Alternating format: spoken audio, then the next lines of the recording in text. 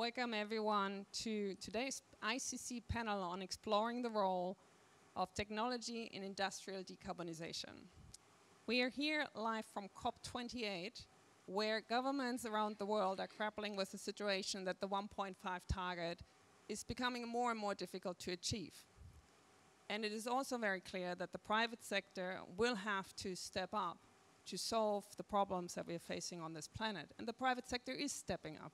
Decarbonization is really at the forefront of what technology leaders are thinking about. And when we look at the statistics, 80% of technologies that we need already exist today. So I have the great privilege to host a panel today of three visionary CEOs. And they are together partnering to tackle the question, how can we as industry scale sustainability, but it has to be an end. For industry, it has to be sustainable and profitable and resilient and competitive. Because we only reach the speed and the scale that we need if together we manage to make this profitable and scalable. I'm Eva Riesenhuber, Global Head of Sustainability at Siemens, and I would like to introduce you to my fantastic panelists. First of all, we have Leonardo Francini. Leonardo, could you please join me on stage?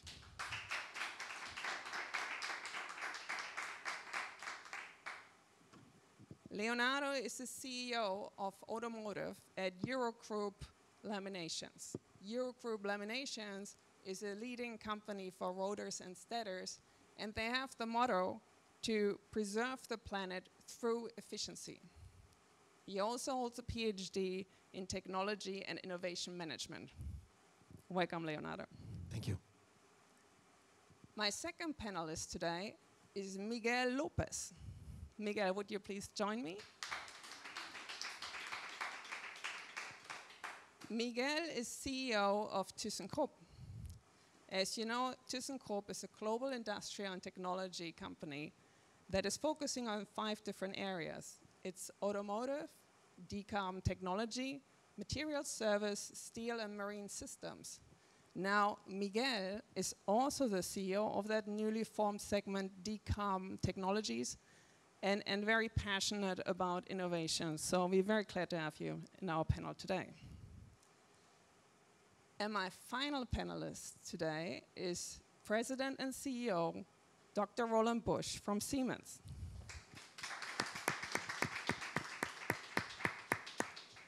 Siemens is a leading technology company in industry, buildings, electrification, transportation, and healthcare. And we're doing that by combining the real and the digital worlds. Roland Busch has always been very passionate about technology and digitalization, and it is a key for Siemens to transform the everyday for everyone. So let's get started with our panel. When it comes to sustainability, innovation, and technology, Roland, could you tell us how key leaders feel about that for business? What does it mean leading a business today? Well, I mean, you said it before that sustainability is, um, is not just reducing carbon emissions or using less resources. It's also the way how you, how you stay competitive, how you be more resilient, also profitable. So um, it seems to be an unsolvable equation, but it's not. Uh, the answer is technology. I do believe technology gives us an answer to really go into a new way how we are running our economies. And I'm not talking about low growth, no growth, or negative growth. I still believe that growth is important, but we have to drive growth with less resources.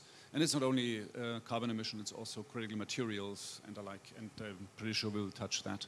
So technology is the answer. Um, it's digital technologies as well, but also any kind of technology which allows us to, to reduce the carbon footprint, to run our processes more efficient. Um, and i am pretty sure that most of the technology is already available. The problem is how can we deploy it even faster than we do today? Thank you very much. So what does that mean for um, ThyssenKrupp, Miguel? Well, we have um, basically two very big topics in front of us, very big tasks. Uh, one is uh, for sure to get our steel uh, production decarbonized. And of course, this is only possible uh, through technology, as you mentioned before, Roland. And, and on the other hand, in this green transformation um, arena, we have the, you mentioned it before, the decarbon technologies where, and for sure we will come later a little bit more into the detail, where we help others, where we help customers to, to decarbonize and to reduce uh, emissions. Uh, it is very exciting, by the way, uh, all the, the conversations that we have around COP here uh, with customers uh, and uh, the, the, the, push that I feel. it's, not, it's not fast enough, that's clear, but there's a lot of activity going on and that's, that's extremely positive. And finally, around digitalization, I mean, um, I, I, have seen SiGREEN before, and this kind of digitalization will help us to be indeed uh, competitive on fair competition, and uh, uh, this is extremely important. Thank you very much. So, Leonardo, you, for Eurogroup, um, you are really flying on the wave of e-vehicles, electrification. Could you tell us what it means for you as a business leader? Yeah, we have uh, 57 years uh, uh, of experience making lamination for electrical motors. And we know very well uh, how to work the steel made by Thyssen and uh, all the suppliers that uh, we have worldwide. And in this um, last year, starting 2015, we more and more use our experience to to help a company like uh, General Motors, all the OEMs. Uh, speak about General Motors because uh, in 2015 we start an innovation project with them, and uh, it was a very strong collaboration. And starting this moment, uh, we realized that uh, our job was very important to sustain it, to help uh, companies, OEMs, making this transformation from industrial combustion engine to, uh, to electrification. And thanks of uh, our activity, our experience, uh, we started to realize that uh, our job was very important to connect uh, company like Thyssen with the supplier, with the customer like, like General Motors and all the OEMs. And this was a very strong connection in order to obtain uh, very high efficient uh, motors for the uh, for the transformation that we are living now. So, so you already mentioned it. Um, so let's jump right in um, because Miguel mentioned SiGREEN. You mentioned the customer relationship. So maybe maybe we should tell the audience what brought us here together in a partnership to solve a customer problem. Roland, could you explain to us what our SiGREEN solution for decarbonization is? Yeah, let me start with the problem. And the problem is that in most cases, 80, percent maybe 90% of the emissions of a company are coming from scope 3 upstream, so from the supply chain, and uh, the other part is scope 1 and 2. So take an example of Siemens, scope 1 and 2 is uh, half a million tons, whereas scope 3 upstream is 15 million roughly. So therefore, if you really want to go carbon neutral, you have to tackle this one. Um, here comes the problem. How can I get, first and foremost, transparency on what's my footprint along the scope 3 upstream, my supplier, supplier supplier, and so on, back to the mine. Um, there are very limited amount of data, very often estimations. So let's assume you get your copper from a country, then obviously you apply the country electricity mix or whatever it is. So it's, it's, it's a rough estimation, not bad, but if you really want to get a full transparency, you, you need to have a, now we are talking about tools, digitalization tools to get, to get it. And then you can start also working on it at reducing it. So, and, um, and this was a problem also in one of our sites uh, in, in, where we produce PLCs. And um, I mean, Gunther, who's also here in the audience, he, he said, yeah, I have, to, I have to tackle that problem. I want to, I want to get uh, transparency. So he gathered a bunch of smart people, um, and they came up with an idea, which, and they, I try to explain it rather simply. Number one is, you should encourage the suppliers to put their data into a database in order to provide transparency. So the first idea was please give me your bill of materials and then I can put it in. Guess what happens? Um, this is core IPR, so they don't do that. So um, then they came with the idea and say, if I use kind of a certification by third parties and I just put this certification into it, which is a, um, hard-coded, it's blockchain-based, so it's, it's, a really high level of integrity.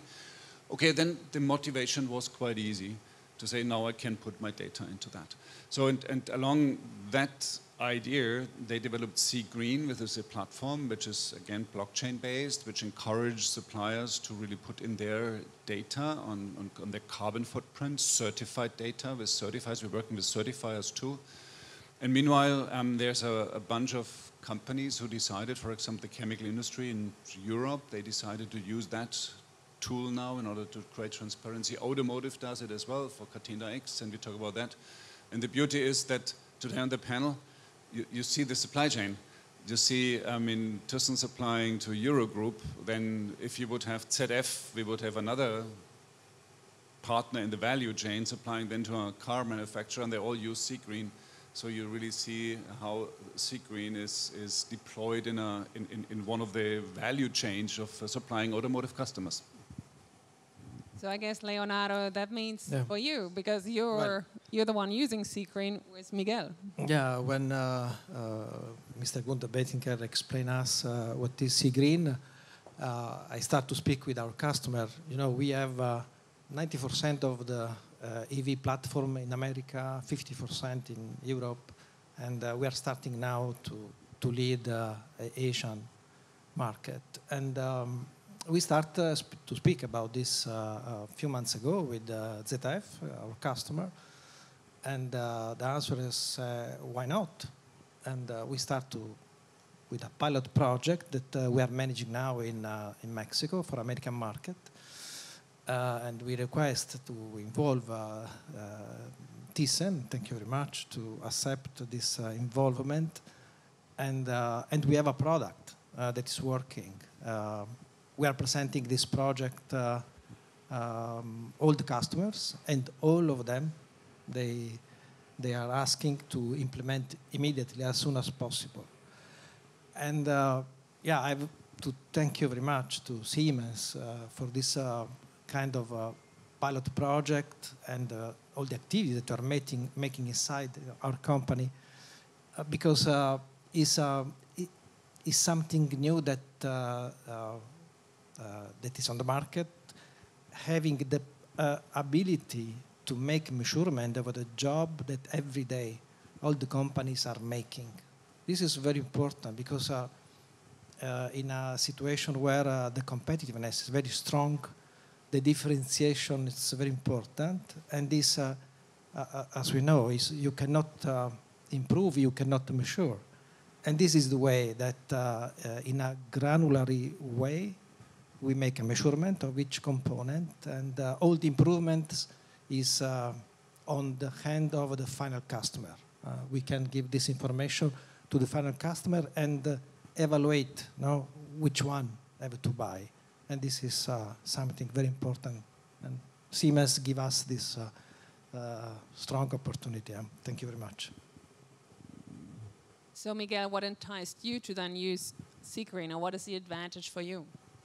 Well, um, I, I, believe we, we need to add uh, an additional component to, to the conversation because um, when talking about fair competition, uh, of course, uh, Green is, is one element, but um, sp specifically in the steel production, cost of energy is extremely mm. important. And when looking to the imports into the EU, and that's what we are currently talking um, to the regulators, then the cost of energy of other countries, for example, China yeah. or India, is much lower than what we have in Europe. So it does mean it, it is not enough to have um, the, the coil uh, somehow Z-greened. It is also necessary that we have a certain kind of certification for the company as a, as a whole, so the steel company as a whole from whatever country it is. Why? Because you can do one green coil, but you can have 80% of other production which is gray. So this element of fair competition is extremely important. Um, and uh, I was thinking the other day when talking to the regulators, probably we need an institution like ISSB or something uh, similar to have not only the stamp on the coil as such, but also the stamp on the company overall, because what we are interested in is to get a complete green supply chain, as you mentioned before. So this is another element that is uh, extremely important from my point of view. Um, of course, we are now taking uh, our bluemint steel uh, product uh, thanks to uh, SiGREEN to customers, and this is giving us a competitive advantage. Nevertheless, we need to solve also the, the more trading um, challenges as such as well. And this arena here, of course, is perfect. Uh, COP is perfect in order to, to address that and to talk with Al Jaber, with, uh, with Dr. Sultan about this kind of, of things and address it correctly. And, and, let me add, and th this is completely right. You have to you have to look at the full dimension. Number one, the company, how you position yourself, what's your footprint, what is your uh, commitment on the one side, on the other side, and this is what uh, and this is where SiGREEN helps, but it helps also on the other end. At the end of the day, you can really assign a, a carbon footprint to this bottle of water. Um, how many kilograms do you have, and you can even offset it in this platform. So this is a, these are the two important dimensions. Both of them are relevant for obvious reasons. One additional thing is energy efficiency. We are talking only or too much about the usage of energy, but we are not talking as much about energy efficiency. And energy efficiency is one fundamental piece to reduce carbon footprint as such. This is, this is really great. So, um, Miguel, your, your point about standards on green steel, what exactly it is, and, and how to make it comparable globally, is really a call to action to um, all the public parties that, that are there. And it shows the importance of public private partnership. And I think at ThyssenKrupp, this is really essential as well for the transformation of your industry. Would you like to talk about that, the, the core pain points and how the public can help you with that? Well, I think uh, we, we first need to acknowledge that uh, the German government is doing a great job uh, because they have uh, been embarking on the, on the journey of uh, decarbonization and they were helping us, um, as you know, with the first uh, direct reduction plant, by the way, also in very strong cooperation with Europe, with the European Union. So this, this th 3 billion investment where we are getting 2 billion as, a, as a risk, price risk mitigation mechanism uh, is uh, leading that we are uh, from 2028 using one third until 2038, one third of blue hydrogen and two thirds of green hydrogen. So the, the, the goal of this is to establish also a hydrogen value chain and infrastructure in Germany as such because we will have, uh, we will have a demand of 140,000 tons of hydrogen uh, every year uh, with only one direct reduction plant. So this is, this is how the public-private um, uh, collaboration works in detail. Unfortunately, um, a couple of um, fellow steelmakers have not been getting the, uh, the, the uh, this support because of um, the decision of, of the uh, court um, in Germany the other day. But uh, we will support them also that they are getting their fair share because it needs to be always uh, fair. With this, we can really then match the demand of, of customers, whether OEMs or suppliers to OEMs, primarily in the uh, automotive industry. And we're sitting here together because you three formed a partnership to get real data on a CO2 footprint of a product for the customer. So Miguel just talked about the importance of public-private partnerships, but the, the potential for the industry is very much in building partnerships and ecosystems to tackle the challenges that this planet and society is facing. Roland, would you like to talk a little bit about the importance of partnerships, ecosystems, and the digitalization behind it as well? Yeah, and um, let me start with, with, with the SiGREEN, which is which is you can see already how important this partnership of an ecosystem is because the more suppliers, the more partners are adding their data to this platform, the more relevant it gets, obviously, and so therefore this is a this is what we call technology-based platforms, which uh, which multiply once you have more and more more and more users. So and, and I, I just can can uh, reiterate what you said. This is a, a multidimen multidimensional problem which we have to solve. Um, basically, what, what we are doing now is when we make our shift in our energy system or any other system, it requires a tremendous amount of capex at, at, the beginning because we want to save on opex, on spending gas or anything. Of course, it has to be driven by efficiency because whatever kilowatt hour you don't consume at the end, you need, don't need to feed in maybe three at the, at the beginning. But at the same time, we need to invest in renewables, we need to invest in grids, um, we need to invest in charging spots, we need to invest in storage because renewables are per definition intermittent, so we are coming back to the hydrogen, not only for steel, but also for, for storage. So you think about it, this is a, a massive transformation into a new world, which requires a lot of uh, private investment, and this invest to back this investment by governments uh, in order to drive, number one, innovation. And I fully agree that you start working not only on green hydrogen, but also on blue one, because you really need to drive a lot of innovation and putting this innovation in sequence. So waiting until you have enough green, elect green electrons for green hydrogen is maybe not the right point. Of course, we have to go green. So this is a concerted effort of not only the government um, in order to play their role, and one of the big roles I see in government is also providing the infrastructure. That's particularly their role, but also of companies coming together um, along the supply chain uh, for certain industries um, that make sense to really link them and, and to make a concerted move. We see at the start, I'm very optimistic. If you look at my discussions here, COP28, it's more really about execution of doing things rather than debating whether or not you have to. So this is very positive. Still a work to do, I guess. I would like to propose you something we have now starting with the cooperation in steel, but there's another sector which is extremely important to be decarbonized, and this is cement. Cement accounts for 8 to 10% of all the CO2 emissions in the world. So what we have been doing now here for steel, we should uh, think about also to do it uh, as a partnership with the cement industry um, later today, we will we will sign a um, well. Uh, it's a surprise. I will not say anything, but um, the what you saying?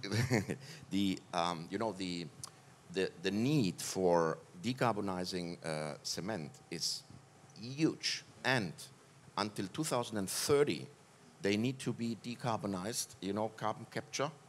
Um, um, we have a technology to do that, and they need to be decarbonized because otherwise they plants will get not any longer competitive.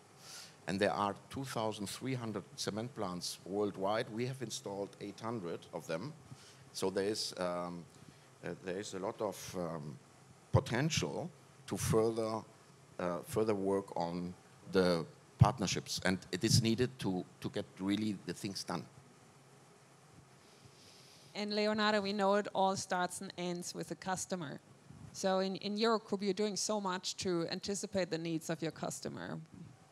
Yes, well, uh, I think that the, the, great opportunity that we have uh, having Green as a tool to make measurement where we are, make us uh, data numbers to understand what we can do, what we have to do in our shoulder and uh, in the shoulder of the, our suppliers. In, uh, in the pilot project that we have uh, with ZF, we show the data. Now it's very clear where it comes from the CO2 emission. We know that uh, every stack that we we sell is um, 8.5 kilos of CO2 emission. Well, 85% is coming from your steel that have to know to work on it. And uh, Thyssen have a strong plan to reduce uh, the CO2 emission. And we have a part that is in our shoulder, no? Uh, as, as we said. Uh, and uh, we have a plan that uh, starting now with a plan 20, 2035 we will reduce in, in a plant in America, in Mexico, to of 35% of the emission and to reach neutrality with our, our stages. Stage one is to, to go to zero in our project, go to zero CO2 emission 2050. Uh, it's, a, it's important to know where we are, to work on it, and to make a plan. Uh, speak about uh, the way to use steel. We take care of the steel because uh, the great steel that the customer chose with us, uh, with uh, an activity related with the co-development of the processes, we found a way to do not lose uh, the good steel that we receive. This is important. It's a part of our job because we discover that our task, our job to make a core rotor and stator, if you don't take care, you can damage the material and lose a lot of effort made by the supplier uh, and, uh, and by the customer after they, they, they, they have to pay no, to, to lose uh, performance. No? And we are there constantly working in order to increase the efficiency, no? preserving the good characteristic of the material. This is very important, uh, and all of this is uh, measured by a, a SiGREEN that uh, every pieces can control with all the system that we have. We have a backbone, Siemens backbone of informatic technology, where collect in a granular way all the activity related with operation in order to understand exactly where we are. Uh, this is uh, the way that we are working. And let me put one more one more party in this equation, which is the consumer itself. We see more and more consumers, um, end consumers, are more aware.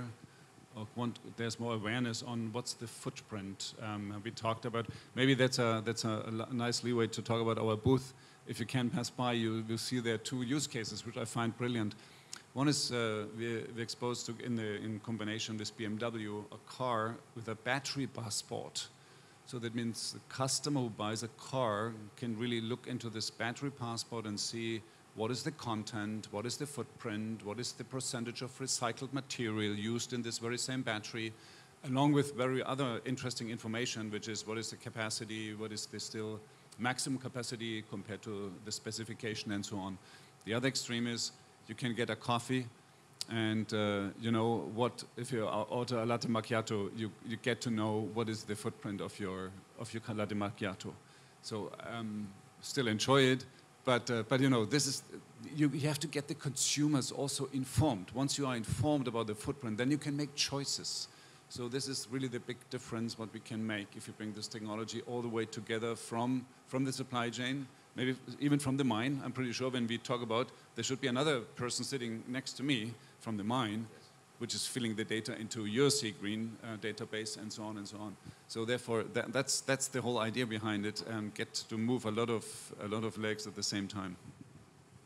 I, I love it because it also shows very much that our customers require us to think bigger. I mean, as much as climate is part of planetary boundaries, decarbonization is part of resource efficiency and biodiversity, and at, at the end, circularity. So if we now think a little bit bigger, what does our customer really need? It's really about the end, the pain point and the outcome that industry is now working to deliver. It's, it's reinventing ourselves, thinking new about innovation and technology and how we can address the customer need. Miguel, how, how do you look at that? Well, I mean, it's, it's very much also about transparency communication and uh, education. You know, uh, I see that now. Um, since we created the decarbon technologies segment in, in ThyssenKrupp, we did that October 1st. Um, we are doing really information communication campaigns to get uh, not only customers, consumers, but also our own people um, aware of the First, of the need for doing decarbonization. Second, uh, that this is a purpose beyond business, and that's what, what it should be. Sustainability is a purpose. It needs to be business, but it is more. and um, to get also uh, the actions more defined in terms of how many electrolyzers we want to, we want to make, we will offer, how many ammonia plants, how many green chemicals can we do, how many um, um, plants, cement plants we can decarbonize, and uh, how many uh, windmills we can um, drive with our bearings. So all this, um, in terms of getting the message better across, um, is, uh, is extremely important. And one thing for, uh, for SiGREEN applications, I don't know how to do it, but it, I think energy as such is a very important factor because it's, you know, you, you said the, the mine, and um, the, the mine is one source, primary source, but the energy is the other primary source, and how to get this uh, transparent. You know, because if we talk about steel, uh, you know, we can uh, have a direct reduction uh, plant, but we can have also HP. Uh, and if it's HBI, we are getting uh, a product from a third party, which is already some steel produced. And this needs also to be then, this part of the value chain needs also to be controlled. And there, it's important what the energy is green, blue, gray, whatever. So transparency, communication, education, clear action plans. Well, uh, as I said, starting 2015, our job changed dramatically. And this is because we understood that the market, the request of the market was different. Not only making lamination, buying the steel, but uh, working with the customer uh, helping the customer to make the right choice and developing with them how to use better the steel. And uh, starting this moment, we started to make a deep uh, activity, starting our plants, where the people go to, we send them to go to school, starting operator to the middle management to high level the people, in order to be able to understand better and better the technology and to be able to make innovation. We are making uh, strong, important innovation field. Uh, one of these is, uh, for example, to separate the production of rotor and stator because uh, rotor stator two elements that are part of the electrical motors. And uh, in the past, until now, now when we ask to the steel mill, uh, steel is uh, to make a boat no, because the process need to use, you have to optimize the usage of the steel. And for these reasons, no, we ask one steel to make rotor and stator. Now, because we are able to make, uh, thanks to the innovation, the possibility this uh, a new uh, uh way to make uh, uh, rotor stator, we can ask to the steel mill separated material, one for the rotor, one for the stator. This open a new, um, is a new way to understand the motors, increasing efficiency, uh, having better uh, usage of the material, and this overall is uh, increasing, uh, taking care of the sustainability. not, not only because we are deeply involving uh, suppliers like Thyssen and uh, with university and laboratory to make better the job that we know what have to do, what have to be, and speaking with the supplier and with the customer to make the real bridge. Uh, this is uh, a big step change, and we discover that uh, we are obtaining uh, huge acceptance of the market because they know the value uh, of what we are doing, and the way to make a measurement of this is SiGREEN. Uh, thank you. And Roland, how does Siemens anticipate the customer's desired outcome in sustainability in, in, through innovation? I mean, first and foremost, talking to them, but also, I mean, there are two dimensions. Obviously, there's a regulation kicking in, which is driving it, and the other side is uh, customers. And we have a lot of leading customers who say, we go our own way. Um, we want to make our contribution and we go very, very aggressive um, for carbon neutrality as fast as possible. So therefore, I mean, it's a constant dialogue. Um, and, uh, and, and, I mean, the, the big elephant in the room is obviously does it cost more? I mean, if I ask you for green steel today, there might be an extra price. Question is, is our customers paying for it? Is our customer's customer paying for it? Is the end customer paying for it? Um, and this brings me back to the point, um, maybe a customer, end customer pays for it, but not if it's not transparent. If you don't have a choice, this is the footprint of a product A, this is a footprint of a product B, and then you have a choice. We, I saw yesterday on our booth an analysis of, of our suppliers supplying very, the same part, and it varies by a factor of 11, I guess, on the carbon footprint. So you, once you have a choice, then you, then you can go for it the pressure is, is there. I mean, we see that um, when maybe five years back, uh, people were talking about what are the targets. Now it's not about talking about, it's really about executing. How can I get as fast as possible? There's one dimension I would like to bring into this whole discussion. One is efficiency. I fully agree. I mean, drive it as fast, as hard as you can, because this is the ultimate target to get also your, your ultimate demand down. The second one is definitely trying to um, eliminate every kind of carbon footprint along the value chain. But the third element, and you talked about it, is recycling. I, I do know that if you can recycle aluminum, for example, that reduces your energy input by maybe whatever 70, 80 percent, and same for steel. Problem is that if you recycle high-value steel, you downgrade it to construction steel. But real recycling means go for high value steel and recycle it to high value steel so you can reuse it in the value chain. That's for me a, another challenge. And guess what? The answer technology. I do believe there's technology there which we need to develop even further and to deploy. And the other question is who is who, who, who, are the, who are the players in that market? Who, who has the business model to collect the stuff from the field, bring it back, recycle it, in particular, if it's not maybe it's steel, it maybe goes back to you guys because you have the smelters.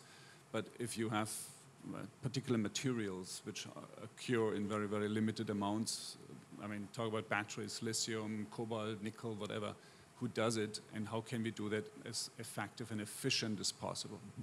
So, by when can we recycle high value steel to high value steel? That's a fantastic question, and um, we are working with, with many institutes, as you as you know, uh, in order to to get the innovations um, for our, our, customers, of course, uh, done, the, the efficiency up.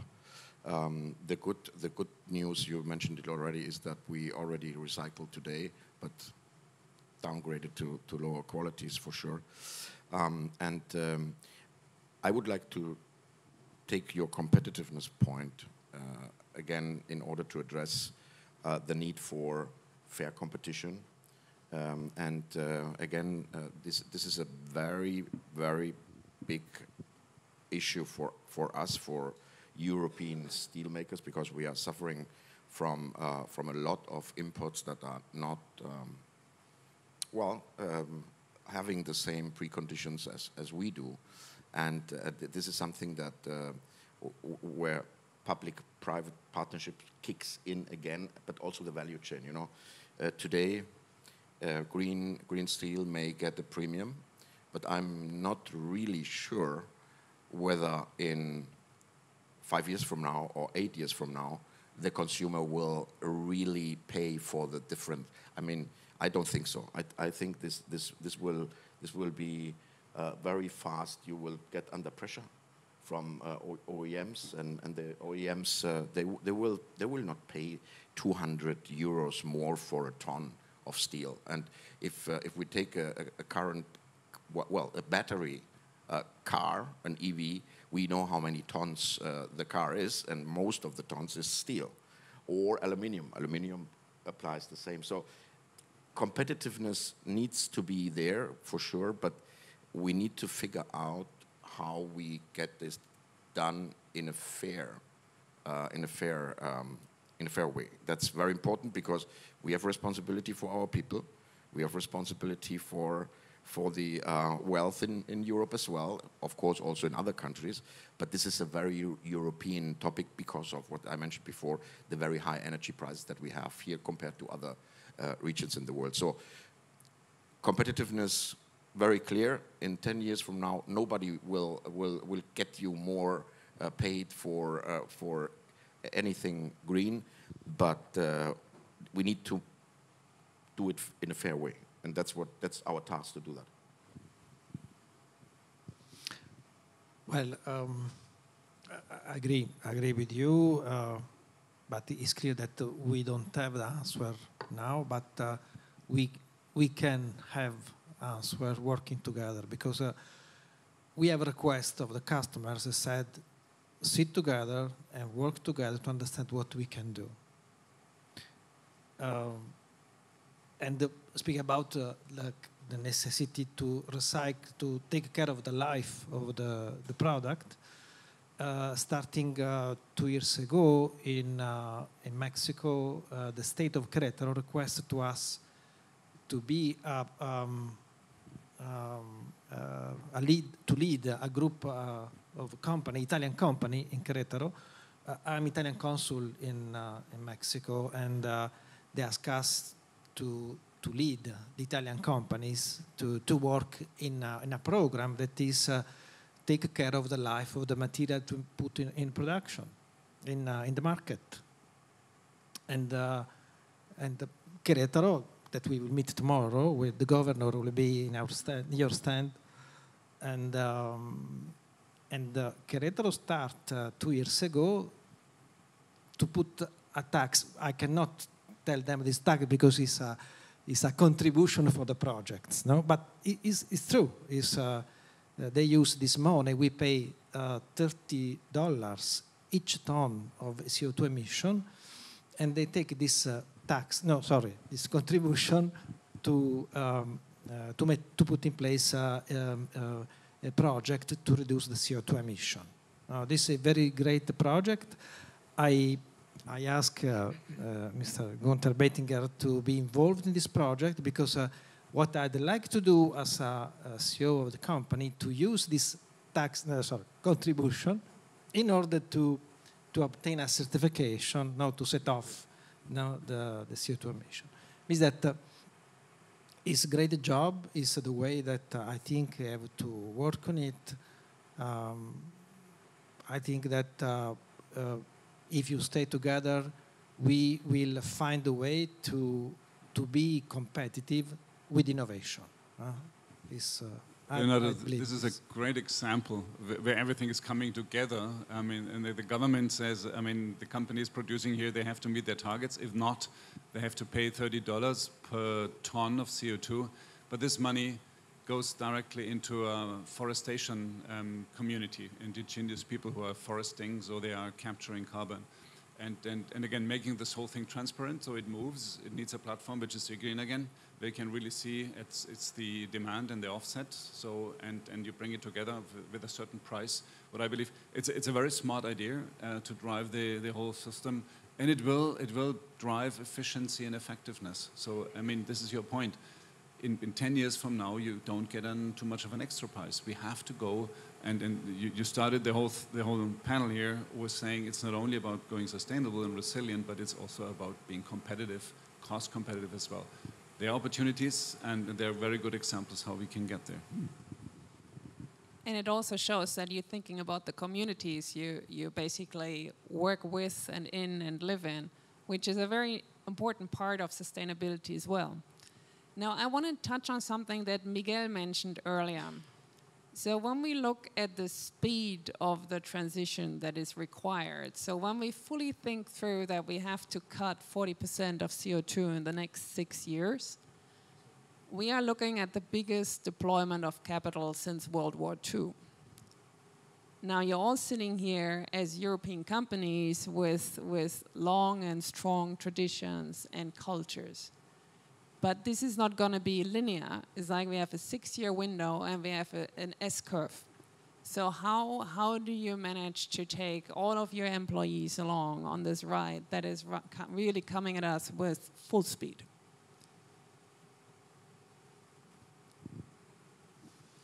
So first of all, uh, speed, just one um, data point.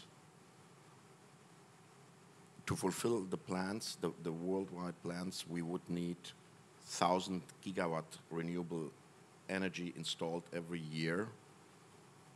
last year we installed 300. So we are way, way too late, way too late. And of course, the, the other thing is um, all the, you know, interest rates development was killing a lot of renewable projects. So, I mean, we, we are working on many, many things um, um, with partnerships within the company, but the overall picture, I mean, it will be discussed here, is not good. We need to, we need to find the ways to get the, the things done much, much faster.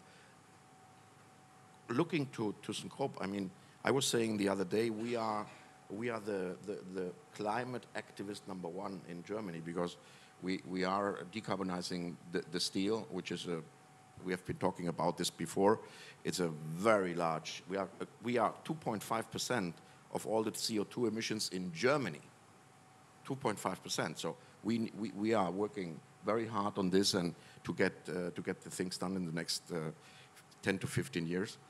Uh, the other thing is, um, and I mentioned this as well, so this decarbon technologies is of course giving a lot of visibility about the importance, I mentioned it before, for our people um, and of course the ESG uh, program that we are driving. But the good thing in, in our case is that we have this green transformation, two big things on the agenda.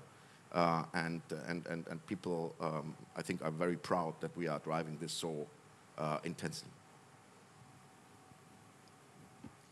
Well, I mean, taking, taking the people with, with us, um, we talk about 320,000 people at Siemens. I think it's a, it's a combination. Number one, I do believe all of them got the message that we have to do something in order to um, save our planet or, or help human uh, um, further develop in, a, in, an environment which we should not damage too much. So this is number one. Number two is um, they do know that we have the technology which is, which is helping our customers and our customers' customers to make a change. So there's an intrinsic motivation. The third element, of course, is creating success, which obviously makes it easier to buy into. So it's not about running a company and then running it um, and uh, the, getting the financials down while making a sustainability agenda. No, it's both. I think this combination is very important. And, and you can do that. So therefore, I, I fully agree. It's getting tougher. I mean, when, when you talk about half time um, stock taking, and uh, we say we, we saved already 60%, 40 to go, we would say it's great, now we are ahead. But the problem is that the, the low-hanging fruits are done. So now it's really getting really tough. Which brings me to the point that if you really want to take these 40% and tackle them while having higher interest rates, and everybody knows it's all about investment, it's capex, which we have to do. Um, I mean, it's capital allocation. Bring the capital deployed at the point where it can make the biggest impact um, on euro investment in getting a ton of CO2 reduction. This is a global task. This is maybe the reason why COP is, is, is even more important than ever before. The global task is how can deploy, how can raise the capital and deploy it in the most effective way in order to bring it to the point where it saves the most that that's a task and it requires a joint effort, uh, a little bit boundaryless, I have to say.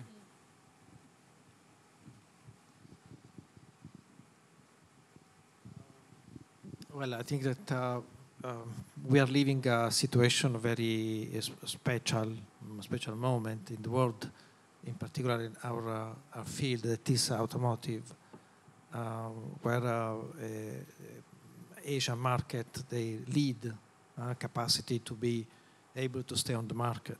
Uh, they are able to have a perfect product with a 35, 40% less cost. And I think that uh, uh it's important, this COP28 have to take consideration what have to do, what is uh, the decision of, uh, of the governments to deal with a situation where um, yeah, can be disruptive on the market. For sure, staying uh, in, in our, uh, our market, our job, we have plants worldwide. And uh, we have a customer worldwide. Where the customer asks, we are there to supply them. of course, the situation where we are now, we have to increase a lot, as we are doing a lot of companies, our operation in China because uh, they are good, they are very able to make a good uh, product with a competitive price. Probably no all time they stay on uh, on the limit linked with the CO2 emission, but is it a fact. No, and COP28 have to give us answer in this situation, in my opinion. And if we um, we're coming a little bit towards the end of our time together, so let's make sure we're touching on the future. If you're looking, let's say until 2030, what is your what are your strategic priorities and what is your vision for 2030? Roland, do you want to start? Well, I mean, number one is we have a commitment uh, going for 2030 to go uh, with scope one and two down to basically zero. That's uh, we're investing another 600 million to do that. So this is a clear commitment. I think we get there. Number two is uh, we're talking about scope three upstream. Um, they have a long way to go. Uh, we said we want to reduce by minus 20%, go zero by t- 2050. This is particularly difficult because this growth speaks against it. The more you grow, the more material you buy, so you have to com- overcompensate for whatever growth you have. So that's, that's heavy lifting, and that requires a lot of effort deploying our technologies, using SiGREEN, creating transparency, but also work with, with companies like, like Kirsten to see can, how can we buy green steel and the like for competitive prices. So this is another one. And to be honest, my, my real focus is, is, is downstream. Um, 90% of our portfolio is, is uh, carbon supporting the carbon reduction or is green as you want and uh, to really think about how can we deploy our technology faster because this has the biggest biggest single biggest impact on the market so i talked about half a million tons scope 1 and 2 some 15 million upstream and we talk hundreds of millions of tons if you talk downstream. Um, and this cuts across all our industries because we provide efficient drives, we provide software and technology which avoids um, uh, failure in your design, avoids resources which you, which you spoil because you do that. We have uh, the most efficient trains, green, green transport is, is public transport. So there's a lot of things we can do. So therefore, this is maybe the biggest the biggest uh, challenge and opportunity you have to really bring this technology to the market? I cannot agree more because, I mean, the internal program is clear, but our challenge is how to ramp up the capacities for producing electrolyzers for the customers. How do we ramp up the capacities? How do we standardize, modularize all the um, equipment for green chemicals? how do we ramp up this in order to support the decarbonization of our customers? How do we ramp up all what we need to do to decarbonize people, um, teams, um, specialists, um, knowledgeable uh, groups of people to decarbonize the cement industry? How do we ramp up all, all this? So there's a big opportunity also for for um, for the the, the the the people for enhancing um, the, the uh, real power of ThyssenKrupp in terms of decarbonizing. So the, the, the more challenge I see is how to ramp up all these elements that I just uh, said and how to manage that, of course, um, profitable and, and, in a competitive uh, manner. Well, uh, it's clear now having a SiGREEN as a product, we can measure uh, our way to proceed during the years uh, with, the, with a program that we call Go to Zero project. Uh, and 2030 will be reduction of CO2 emission, as we already stated for America, is uh, to reach a reduction of 35% of CO2 with objective to go to uh, zero 2050 uh, speak about scope one. Uh, about uh, scope three is depending of the customer request and the ability to have uh, the raw material available with low CO2 emission. Um, uh, it's important the job that we are doing with the govern, government like uh, uh, where uh, the activity uh, linked with um, uh, a systematic approach, not only related with the customer supply, but uh, take consideration the life of, of our product is a, is a very important activity that we will work on it in order to be more and more effective uh, in, in the direction to be sustainable. So the, the motto of this COP is unite, act, and deliver. If you could wish for one thing as an outcome of this COP, what would it be? Roland, would you like to start? Yeah, um, very simple, a global carbon price. Give you a little bit of an idea behind. And you, you said Megawish. I know that's, it's, uh, it's hard, but the point is, I talked about, um, or you talked about that maybe there's a problem if you have a, a carbon reduction here and you have imports from other countries with lower prices because they don't fill the requirements.